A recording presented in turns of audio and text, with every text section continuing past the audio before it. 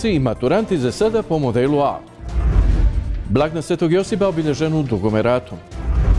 Kontra koronika štelani pripremaju sezonu.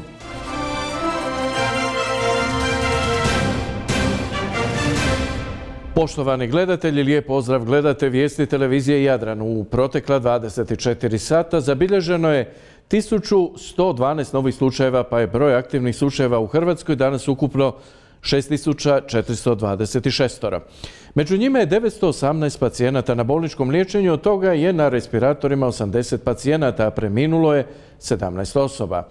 Na području Splitsko-Dalmatinske županije 195 je novo oboljelih, najviše iz Splita 77, Makarske 16, Solina 15, Trogira 12, Kaštala 10 i Sinja 9. Na bolničkom liječenju nalazi se 81 COVID pacijent, od toga 17 na respiratorima. U protekla 24 sata preminule su dvije osobe. Situacija s pandemijom ponovno se usložnjava. Odmah su reagirali i stožera. Od ponedjeljka srednje škole u Županiji prelaze na online model nastave, dok osnovne škole i maturanti nastavljaju po modelu A. Srednje škole od ponedjeljka ponovno se vraćaju online nastavi. Učenici završnih razreda te osnovnoškolci ostaju po modelu A. Čak 1800 učenika u samoizolaciji te 145 zaraženih u Splitsko-Dalmatinskoj županiji razlog su ovakve organizacije nastave. Na današnji dan možemo reći da u Splitsko-Dalmatinskoj županiji 145 učenika je pozitivno na COVID infekciju da je više od 1800 učenika u samoizolaciji, što znači više od 80 razrednih odjela. Od toga 51 razredni odjel koji se nalazi u samoizolaciji su učenici iz srednjih škola. U postotku zaraženosti učenici srednjih škola su više izloženi i više zaraženi. Dakle, mi imamo više od 50% zaraženih učenika u srednjim školama, što evo, nas je dovelo do zaključka da u suradnji s epidemiolozima na, u, sklopu razgovora i, u stožeru gdje na dnevnoj bazi pratimo podatke i analiziramo situaciju i u školama kao i u, cijeloj županiji e, da dođemo do zaključka da jednostavno ova dva tjedna nastavu u srednjim školama pokušamo organizirati tako da učenici srednjih škola od prvog razreda do trećeg nastavu prate na daljinu po modelu C, e, dok će učenici završnih razreda srednjih škola, strukovnih škola, a i gimnazija e, nastavu pratiti u školi po modelu A. Zbog više kontakata upravo su učenici srednjih škola izloženi zarazi. Osnovne škole nastavljaju po modelu A. Mišljenja smo, a to su i naši podaci pokazali, da učenici srednjih škola koji po prirodi imaju više socijalnih kontakata, koji su izloženiji e, u, socijalnom smislu, koji participiraju u javnom linijskom prijevozu su e, kudi kamo izloženiji mogućnosti zaražavanja i prenošenja zaraze. Zbog toga je stožer jučer donio odluku i dao uput u školama da se nastava u ponedjeljka organizira na ovaj način i pratit ćemo daljnju situaciju i razvoj događaja. Osnovne škole u Splitsko-Dalmatinskoj županiji nastavu i dalje održavaju po modelu A.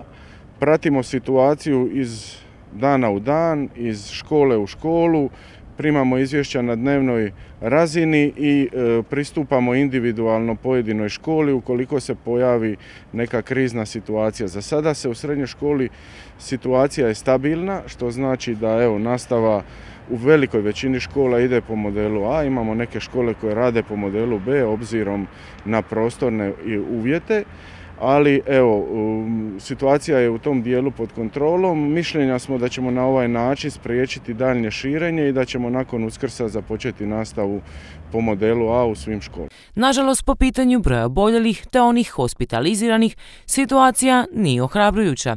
Istaknuo je načelnik stožera Splitsko-Dalmatinske županije Luka Bečić. Sve više oboljelih su upravo mlade osobe. Imamo iz KBC-a službeno izvješće, a tu vidimo nažalost jedan povećani broj hospitaliziranih. Jučer smo imali 74 osobe na liječenju u našoj bolnici u Splitu. Danas je taj broj 81. Jučer smo također imali 15 ljudi na respiratoru, danas je taj broj 17. Evo kao što ste imali priliku čuti od ljudi iz samog KBC-a, e, brojevi na respiratoru na poseban način zabrinjavaju. Ako usporedimo da smo u vremenskom razdoblju kada smo imali i oko 200 ljudi smješteno na liječenju u KBC-u, imali e, manji broj ljudi na respiratoru, znači to je ono što daje e, i tekako snažnu poruku da budemo maksimalno odgovorni kao svaki pojedinac, a isto tako evo kad je riječ o e, preminulim, u posljednja 24 sata jučer su dvije osobe preminule, danas također imamo dvije preminule osobe, 56. i 44. godište. I sve ove mjere koje donosimo, znamo, već smo ovdje 13 mjeseci, skupa zajednički, ja bih rekao, u jednoj borbi sa ovom pandemijom. Uvijek je bilo bitno zaštititi, sačuvati zdravstveni sustav, socijalni sustav, zato i ove mjere koje smo donijeli, donijeli u kontekstu školstva. Veliki su problem privatna okupljanja, istaknuo je Brčić, a dodatno pooštravanje mjera ovisit će o eventualnom rastu oboljelih te razvoju situacije.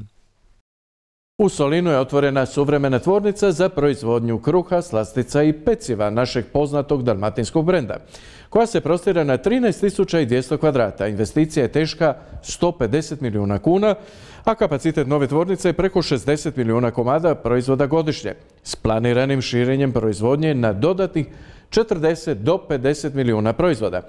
Tvrtka zapošljava 600 djelatnika, a karakteristika samopogona je što uz vrhunsku tehnologiju ima i sustav koji zimi i ljeti održava idealnu ujednačenu temperaturu od 25 stupnjeva Celzijusovih.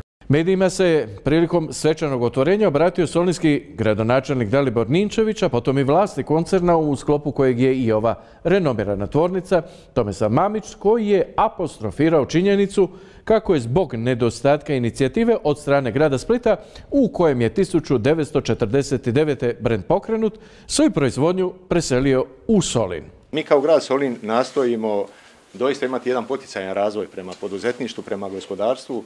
Osim što imamo mjere za poticajan razvoj gospodarstva, siguran sam da i ovoj velikoj tvrci, a svim ostalim gospodarstvenicima je vrlo važno brzo, brzo i ekspeditivno razbijate barijere, proceduralne barijere što se tiče ishođenja dozvola, prostornog planiranja i svega ostalo. Mi smo od praktički 2014. počeli tražiti ovaj, nekakvu potencijalnu lokaciju za proširenje, odnosno izgradnju nove tvornice.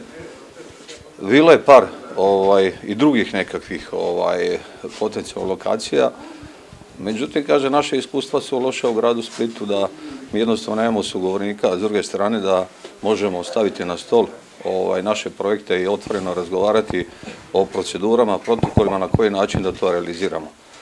Kad smo se odlučili da to napravimo, odnosno ne odlučili, bila je varijanta kad je e, pivovara Regent koja je bila u stečaju, a bila susjedna znači e, zgrada, odnosno zemljište, krajeve naše stare tvornice, onda smo se odlučili da idemo s tim, iako nam to nije bilo dovoljno, pa smo nakon toga otkupljivali još značajan dio zemljišta, ovaj, da imamo praktički veći prostor za nekakvu manipulaciju, a potencijalno danas i širenje.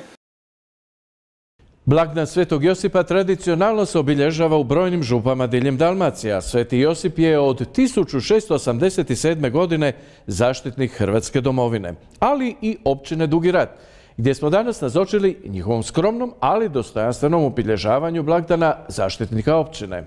Slavi se blagdan Svetoga Josipa. Poseban je to dan za sve stanovnike općine Dugi Rat. Slavi se dan njihovog nebeskog zaštitnika. Umjesto tradicionalne slike i proslave blagdana, kada bi brojne crkve u Hrvatskoj trebale biti pune vjernika, obilježavanje proteklo u skladu s epidemiološkim mjerama. Koronavirus je utjecao na naše običaje. Broj vjernika na misama se smanjio, no ipak tradicija živi. Možemo biti sretni zbog toga, istaknuo je župnik župe Svetog Josipa u Dugom ratu, Don Božo Čubelić. Dan općine i dan župe. Znači ova župa je posvećena prije 30 godina Svetom Josipu. Iz godine u godinu evo, slavimo Svetoga Josipa, a ove godine smo posebno se pripremali. Zašto? 150 godina da je Papa Pio IX proglasio Josipa zaštitnikom cijele crkve. I mi smo kroz devet srijeda imali pripremu. Tri svećenika su imala, po trije srijede, jeli mise, svečane mise, propovjedi, narod je dolazio, odaziva se, zaista je bilo divno i imali smo trodevnicu ova zadnja tri dana. Evo danas slavimo ono najbitnije, jeli, svetoga Josipa, našega nebeskog zaštitnika, zaštitnika crkve, umirućih, obitelji. Josip je, evo, za sve, lijek. Znači, procesija ove godine neće biti, jer je tako odlučila i nadbiskupija i stože. Znamo zašto, evo, možemo biti sretni da ove godine imamo mise. Lani sam rekao samo jednu misu u 8 sati, poslije podne bila najavljena misa, ali je došlo do zabrane da nije bila sveta misa. Popodne ljudi su došli, išli su razočarani kući. Mislim, razočarani. Tako je bilo stanje pandemije i morali smo slušati, ali evo, hvala Bogu, ove godine smo već dvije mise imali i treća je poslije podne u 17 sati koju predvodi generalni vikar Miroslav Vidović. I nadam se da će biti eto, dosta svijeta. Bog je da lijepi dan, što mu na tomu hvala i svetome Josipu. Pa evo neka nas prati, čuva, vodi i da i mi živimo, ne samo da gledamo njegov kip, nego da živimo kao što je on živio tiho, skrobno, jednostavno, a najbitnije, evo, puni vjere i odanosti prema gospodinu Bogu. Unatoč neizvjesnosti na dolazeće sezone, Kaštelanska turistička zajednica u sveobuhvatnim pripremama je za ono što slijedi. Sljedeći tjedan turistička zajednica grada Kaštela planira postaviti dva uskrsna jaja u Kaštel Sučurcu te u Kaštel Novom. Zbog epidemiološke situacije ove godine, nažalost, neće sudjelovati kaštelanske škole i vrtići. Mi smo zapravo sve naše planove i planirali kao da će biti sve normalno. A onda, zavisno o situaciji, ćemo pojedina događanja prilagoditi evo, novo nastalim mjerama. Za sljedeći tjedan, ovo pred, uskrsno vrijeme, smo svakako planirali postavljanje e, dva uskrsna jaja, jedno u Kaštel Sučurcu, jedno u Kaštel Novom u Đardinu. To je ono što ćemo zasigurno napraviti. E, neće to biti na uobičajeni način jer da je sve podnormalno, onda bi vjerojatno u tome sudjelovali i škole i dječji vrtići i napravili bi nekakvo druženje sa kaštelanskim umjetnicima.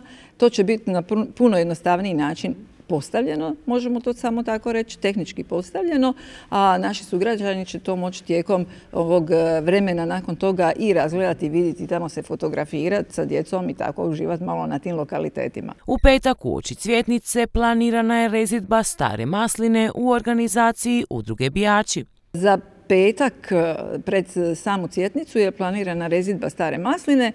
To će najaviti e, udruga Bijači koja iskrbi o staroj maslini zajedno sa gradom Kaštelima. Bila je ideja zapravo i na tu rezidbu bi bila pozvana i djeca i vjerojatno bi se odradila kakva radionica pletenja, pletenja maslinovih grančica. Nešto, bilo je nešto u planu, ali vjerujem da će to biti rezidba, da će biti skupljanje lišća od stare masline za čaj i e, evo koristim i prigodu pozvati naše sugrađane na tu rezidbu e, u petak, znači e, oko podne, jedan sat kad već bude rezidba pri kraju, da uzmu grančice stare masline za blagoslov, jer evo, tradicija je oni koji nemaju vlastite masline da mogu uzeti i te e, grančice od stare masline za blagoslov, a i grad Kaštela šalje te, te grančice gradovima prijateljima, pa će tako napraviti i ove godine. Na koji će se način održati manifestacije kreativnog proljeća, ovisit će o epidemiološkoj slici. Tradicionalno se već e, u Kaštelima radi na kreativnom proljeću koje traje 7 tjedana. Nositelj je grad Kaštela i klaster Zora. I naravno da sudjeluje, sudjeluju sve kaštelanske ustanove, pa tako i turistička zajednica grada Kaštela, a i e, veliki broj udruga kaštelanskih e, sa različitim manifestacijama na koji će se oni način održati i šta će se uopće održati s obzirom na epidemiološku situaciju, to zaista još ne znamo jer e, su se tu trebale održavati takva događanja koja su vezana za feštu boba za kušanje, za svjetsko prvenstvo u spravljanju sipe sa bobom, kušanje crljenka jer je 20 godina crljenka. Mislim, jedan veliki broj događanja je trebao biti kroz tih sedam tjedana koji je uključivao i vođenja besplatna za naše domaće i za goste i brodom i biciklama i pješke i u kaštelima i po padinama kozjaka. Kažem opet na koji način i kako ćemo to organizirati to još uvijek ne znam. Sajam mali brodogradnje tradicionalno obilježava početak turističke sezone u Kaštelima. Kada i na koji način će se održati ove godine, organizatori će na vrijeme objaviti. Polovicom petog mjeseca pak održava se i tradicionalni sajam cvijeća. Ove godine će opet zavisiti o organizatorima i organizatori vjerojatno promišljaju ovu cijelu situaciju. E, prošle godine je bio pomaknut kraj četvrtog mjeseca nismo, nije, se mogao u to vrijeme održati. Što će biti ove godine isto tako ne znamo. E, organizatori će u svakom slučaju izvijestiti o tome na vrijeme. E, turistička zajednica u suradnji sa gradom tradicionalno radi kaštelanski praznik cijeća. Prošle godine ga nismo odradili, e, upravo radi epidemioloških mjera. Ove godine je plan bio da će od 14. do 16. petoga biti održan sajam. E, sad, na koji će način biti održan, e, opet ne znamo, zasigurno na otvorenom i zasigurno e, sađenjem cjetnica na tom lokalitetu e, sa naravno manjim brojem sudionika, jer obično bi bilo puno, jako sudionika na tim svim našim sajmovima koji su uključivale jako puno vrtičke djece, učenika, plesnih skupina. Kako će to izgledati ove godine? U toj izvedbi to, to nismo sigurni, ali smo pripremili i brošuru jednu e, koja e, objedinjuje zapravo 20 godina kaštelanskog praznika Cijeća, odnosno prisjećamo se svih pobjednika sa tih e, naših praznika Cijeća kroz fotografije tih lijepih izložaka, kuća, zapravo svega onoga što nas učinilo zanimljivim tijekom tih 20 godina. Isto tako pripremljen je i film koji govori zapravo o svim velikim obljetnicama i 20 godina praznika Cijeća, ali isto tako i e, evocira uspomene na veliki broj e, i obilazaka, odnosno obilazaka kaštelanskih vrtova i perivoja, odnosno natjecanja za najljepši kaštelanski perivoj. 33 udruge prijavile su svoje manifestacije za već kultno kaštelansko kulturno ljeto koje će, nadamo se svi, proteći na način na koji smo već godinama navikli, uz obilje zabave, smijeha i bez straha od korone. U Veloj Luci se okupila građanska inicijativa za osnivanje odbora za turizam i gospodarstvo Vele Luke. Svrha okupljanja je što veća integracija lokalnih obrtnika i poduzetnika u turizam, kao generatora razvoja destinacije. Poduzetništvo je okosnica razvoja svake općine, kažu, a zaključak inicijative je da je postojeća suradnja između lokalne vlasti i poduzetništva nezadovoljavajuća.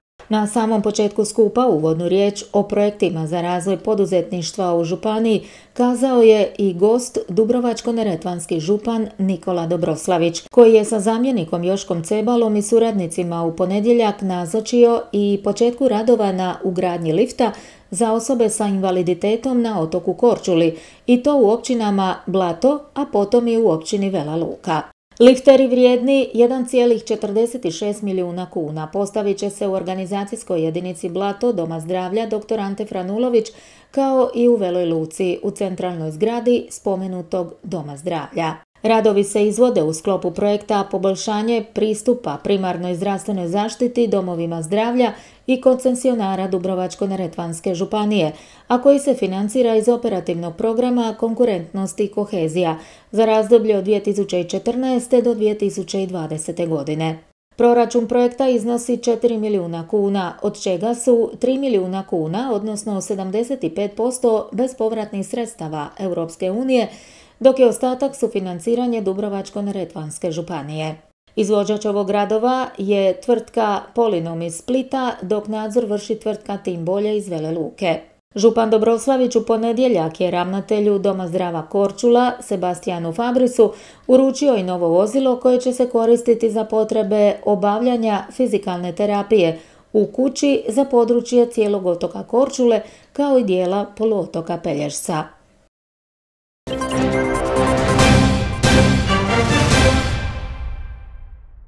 Zdravi i veseli bili. Čudo se dogodilo u Zagrebu, nogometno čudo.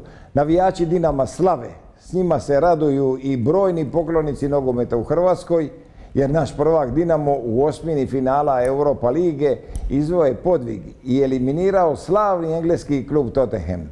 Poslije poraza od 0-2 u prvoj utakmici u Londonu, Dinamo je u uzvratu na Maksimiru pobjedio s 3 naprama 0 i tako se plasirao među osam najboljih klubova Eurolige. Odmah da kažem, u četvrtfinalu Dinamo igra protiv španjolskog kluba Villareala. Dogodio se dakle zaista neočekivani obrat od 0-2 do 3-2 u sveukupnom omjeru i to u epskoj borbi, nadmetanju koje je u Zagrebu trajalo 120 minuta. Dinamo je došao do pobjede i to u trenutku kad su braća Zdravko i Zoran Mamić, glavni arhitekti superiornosti Zagrebačkog kluba u Hrvatskoj, pravomoćno osuđeni na zatvorske kazne, pa su poznijeli ostavke i faktički su prisiljeni napustiti klub. Posebno je bila dramatična situacija s trenerom Dinama Zoranom Mamićem, koji je vodio Modre u Londonu, ali ne i u uzvratu. Njega je zamijenio pomoćnik Damir Krznar. Junak triumfa na Spursima bio je Mislav Oršić, strijela sva tri gola. I to kakva tri zgoditka, svaki na svoj način bio je spektakularan. Ali taj treći, u stvari pogodak u stilu Lionela Mesija, jer je Oršić krenuo s loptom gotovo od centra terena, probio se među tri, četiri igrača londonskog kluba i na doma kaznenom prostoru opalio, šutirao neobranjivo za 3-0. To je veliki rezultat u slavu Dinama, ali i na korist hrvatskog nogometa, u konačnici čak i financijski. I to ne ekskluzivno za Dinamo, već i za sve prvoligaše, pa tako i za Hajduka. Prošle godine kad je Dinamo dospio skalu niže do 16. finala, svaki prvoligaš je na račun tog plasmana inkasirao pola milijuna eura. Sad će biti više. Na redu je još jedno kolo prvenstva 26. kola. 26. kolo Hajduk sutra čeka momča Šibenika. Bijeli su od Šibenčana doživjeli poraz na svom poljudu, ali su se revanširali na Šubićevcu. Zatim slijedi stanka, reprezentacija Hrvatske počinje kvalifikacije za prvenstvo svijeta u Kataru 2022. Najprije prva utakmica u Ljubljani protiv Slovenije 24. ovog mjeseca, a odmah slijede dvije utakmice u Rijeci na Rujevici protiv Cipra i Malte. Poslije prekida prvenstva, poslije prekida prvenstvo se nastavlja non stop. Dinamo na tri kolosijeka, znači u Europi protiv Reala, u polufinalu Kupa Hrvatske protiv Gorice, a u prvenstvu žestoko nadmetanje s Osijekom. Što se tiče Hajduka, poslije eliminacije i skupa u Gorici i teškog poraza od 0-3, ostaje nada da će se bijeli u borbi s Rijekom ipak domoći četvrtog mjesta. Ali to je još jedan mizerni učinak u odnosu na ambicije, tradiciju i ugled Splitskog kluba. Čujte, molim vas. U dva protekla prvenstva oba puta Hajduk je bio tek peti, a sada u borbi za četvrto mjesto.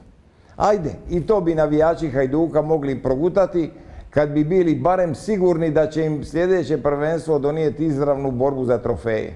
Može se dogoditi, premda sumnjam, zato jer ova agonija traje od 2013. od zadnjeg osvajanja kupa, znači devetu godinu. Inače da posjetim, Hajduk je posljednji put bio prvak daleke 2005. što znači da post traje 16 godina. Nažalost, pored Dinama, sve snažnijeg Osijeka, sređene Gorice, taj post će potrajati. Zdravi i veseli bili.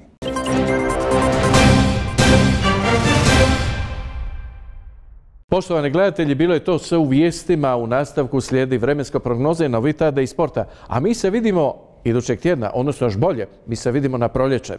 Do tada, lijep pozdrav i do gledanja.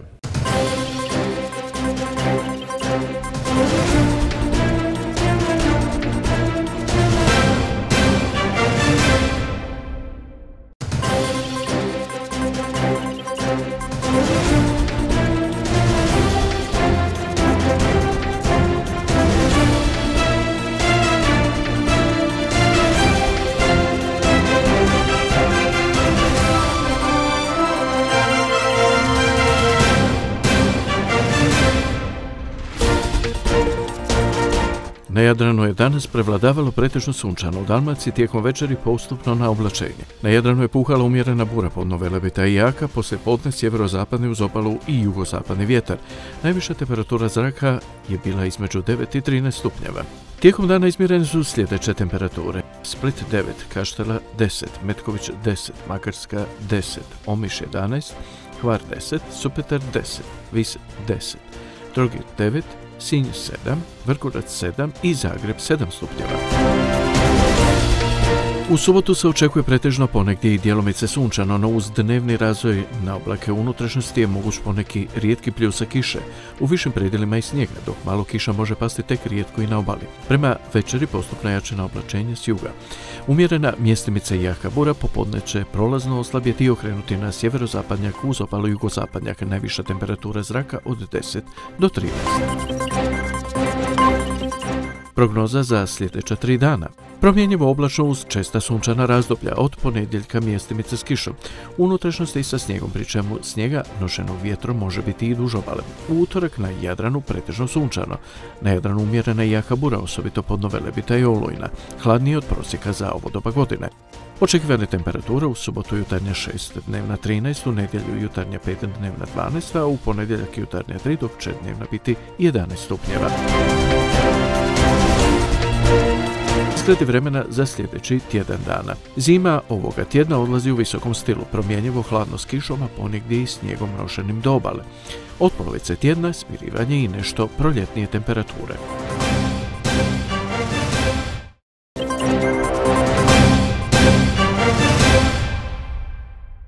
Poštovani gledatelji, srdačan pozdrav. Dobrodošli u Sportske minute televizije Jadran.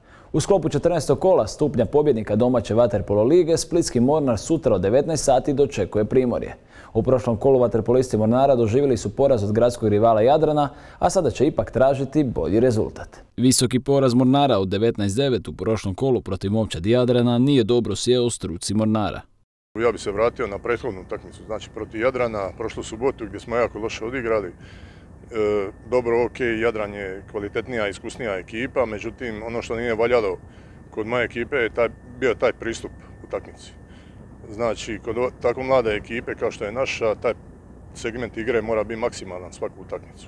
Ja sam siguran da ćemo to promijeniti ovu narednu utakmicu protiv Primorja. Dosta smo razgovarali, pripremali se, gledali snimke. Ja sam uvjeren da će biti dobro. Protiv Primorja neće biti jednostavno, ali nadaju se iz Mornara dobrom rezultatu i prije svega zalaganju. Primorje je ipak iskusnija ekipa od nas, mlada je također ekipa, vrlo dobro igraju. E, ja jedino mogu garantirati da ćemo dati sve od sebe, svoj maksimum, pa ćemo vidjeti što će biti. Susret Mornara i Primorja na rasporedu je sutra od 19 sati. U sklopu 23. kola druge Hrvatske nogometne lige ove nedjelje će na poljudu snage odmjeriti druga momčad Hajduka i Solin. Solinu su za ostanak i tekako potrebni bodovi, te će u ovom susretu tražiti puni pljen. Evo najave iz tabora Solinjana. Susret između druge ekipe Hajduka i ekipe Solina utakmica je dvaju protivnika iz donjeg dijela ljestvice druge Hrvatske nogometne lige. Nažalost, ispada da je derbi začelja. Mislim da po kvaliteti i ni jedna ni druga momčad ne zaslužuje biti na poziciji kojoj je. I tako da se nadam da će biti jedna čvrsta i borbena utakmica gdje ovisimo i mi oni o tim bodovima. Solinu je u borbi za ostanak svaki bod bitan, tako da u ovom susretu nemaju baš previše prostora za kalkulacije. U situaciji smo da ne možemo pričati neke stvari, tako da ćemo sigurno, rekao bi ja po našem tu žargonu baciti se na glavu da uzmemo tri boda jer nam to znači život, to jest opstanak ta tri boda i, tako bi trebali razmišljati svaku utakmicu da idemo, da šta prije probamo osigurati taj opstanak. Kompletni smo i nadam se da se ova dva dana neće ništa desiti što se tiče ozljeda i da ćemo izaći puno sastava. Susret između Hajduka 2 i Solina igra se u nedjelju na polju od 15 sati i 30 minuta. A nogometaši prve momčadi Hajduka u subotu će na poljudu u okviru 26. kola prve Hrvatske nogometne lige odmjeriti snage sa Šibenikom. Uoči ove utakmice bijeli zauzimaju peto mjesto na prvenstvenoj tablici s osvojena 33 boda u 26 odigranih susreta, a gosti iz Šibenika se trenutno nalaze na šestoj poziciji s osvojenih 36 bodova u 25 odigranih susreta. Hajduk i Šibenik u aktualnoj su sezoni dva puta odmirili snage. U prvoj utakmici odigrane na poljudu slavili su Šibenčani rezultatom 1-0, a bijeli su istim rezultatom uzvratili na Šubićevcu na početku drugog dijela sezone. Poštovani gledatelji, hvala na pozornosti. Pratite nas ponovno već od ponedjeljka. Srdačan pozdrav!